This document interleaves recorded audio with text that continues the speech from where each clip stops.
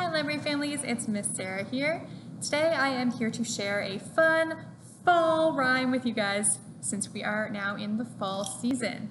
So each season is always a great opportunity to switch up songs that you already have in your rotation.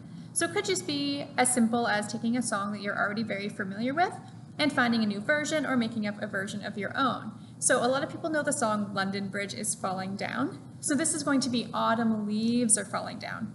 So I have some fun fall colored scarves here for our song today, but you can use anything you have available at home. All right, so it goes like this. Autumn leaves are falling down, falling down, falling down. Autumn leaves are falling down, red, orange, yellow, and brown.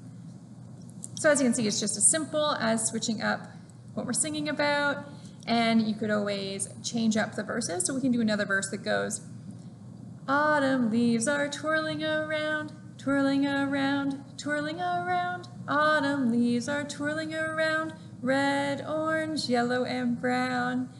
So you can just switch out the actions and make it however you would like to have more fun with it, make the song a little bit longer.